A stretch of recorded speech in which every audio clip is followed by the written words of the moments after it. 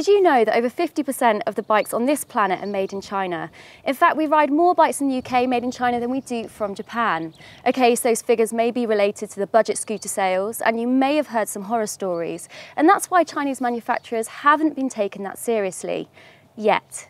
And I say yet because that could all be about to change. WK Bikes are at the forefront of the Chinese manufacturers in the UK and they launched their first serious road bike back in 2012. It was so serious in fact that they raced it in last year's TT.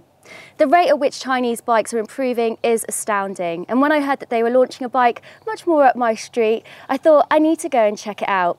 And here it is, the WK 450 RX.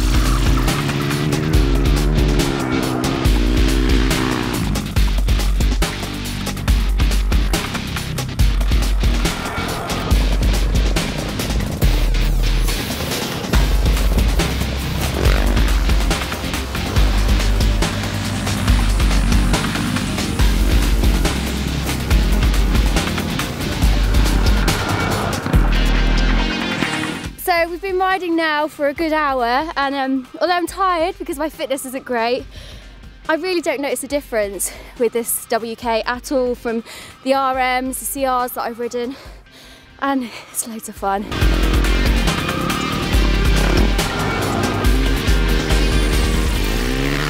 Now I've had a few hours on the 450 this morning, I'm a little bit muddy, but that's more like it, hey? This is Henry, he's the manager of WK Bikes. Firstly, give us a bit of history on them. WK Bikes we launched in the UK about three years ago now. Um, Quadzilla Quads is our parent company and we've been selling road legal quads to the UK for about 13 years now. So three years ago we decided to move into the two-wheel market. Now last year saw the first Chinese bike to ever race in the TT and you're heading back there this year aren't you? So you must have done well last year. Yeah I mean it's a it was a big learning curve for us last year obviously never been to the TT, never been to the island and never produced a race bike before but it was yeah, as I say a big learning curve but again this year we're we've taken on what we learned last year and hopefully improving on what we've done. And now we've got this, the WK450 RX, which is your first off-road bike. And it's a serious one, tell us about it. Yeah, the 450 RX, and like you say, it is, it is a serious bit of kit, 4, 450cc, um, 43 brake horsepower. This has got a Yoshimura exhaust system that we'll offer as an aftermarket special special pipe. But yeah, it's got everything that all the competition have, aluminium frame, 47 mil um, upside down fork. So you can go anywhere, do anything with this bike. So how much is this bike on the road then?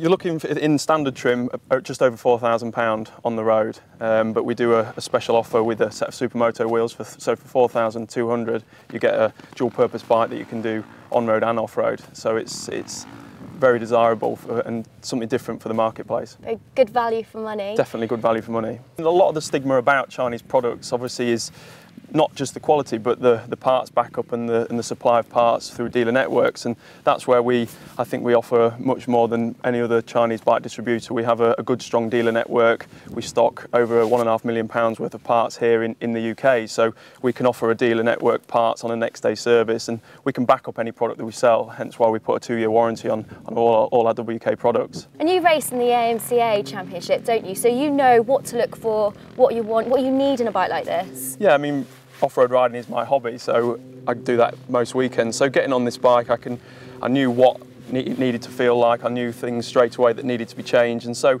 I would like to think that I've got a good opinion about what's good and what's not on, a, on an off-road bike. Well, now I think it's time we get back out on the bikes and have a bit more fun because it's not been long enough. No, let's go. Yeah.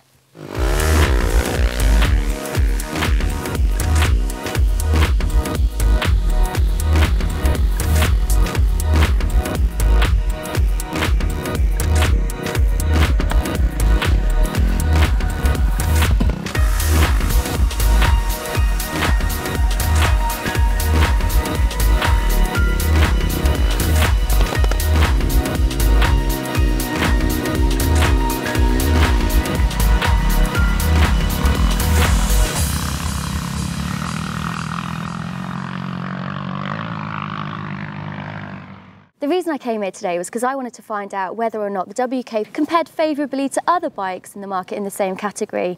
And you know what? I think it does. After a few hours riding today, it's got bags of personality, it looks good, it sounds like a 450, which you may not expect. The overall feel of the bike feels amazing to me compared to other 450s that I've personally ridden. I know I'm not the best rider, but what's important is that I feel good on a bike and I enjoy riding it and this delivers. Six and a half to seven and a half K is a lot of money to spend on a bike, especially if you're new to enduro trail riding, you don't even know whether or not you're gonna like it.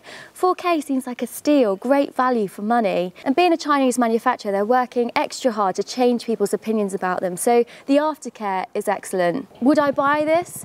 No, I wouldn't, but that's all due to the fact that it's a 450. It's a bit of a lump for me. I wouldn't buy any 450, but luckily they're bringing out a 250 in the middle of the year, and that's the bike for me.